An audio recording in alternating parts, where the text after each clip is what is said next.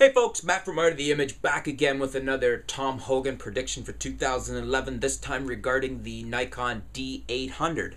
So, Thom is saying that the Nikon D800 will be announced by March of 2011. I've already said uh, similar in some of my posts. I concur with this entirely. We will see an announcement by March of 2011.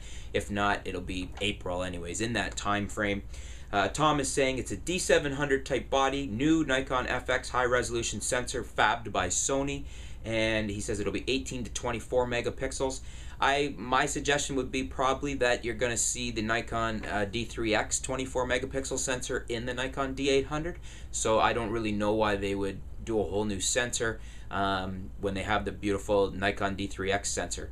Uh, now maybe what they're going to do is make an improvement on that sensor, and that's what Thom's getting at here.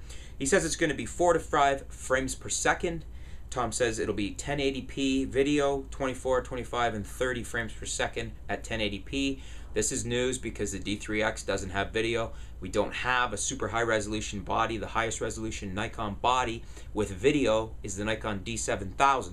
So if the D800 has it, that will signal that the D4X or whatever is going to replace the D3X will also have video, high resolution video.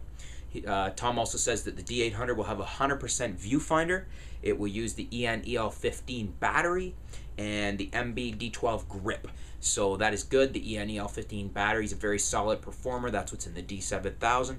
Very happy with it, getting good performance out of that battery. And Thom says, as far as is it coming, he says yes, it's coming. Nikon at Nikon speed.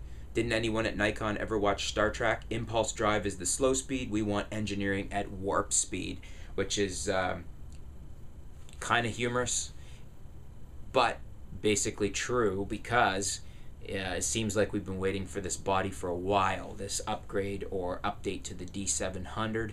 Um, and I guess that begs a question too do we see the D700 in tandem with the D800?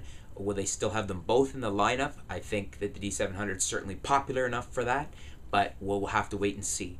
Anyways, folks, there you have it. That is Thom Hogan's Nikon D800 prediction for 2011. Stay tuned. We'll be back with some more news and posts for you of what's going on in the world of photography. Thanks.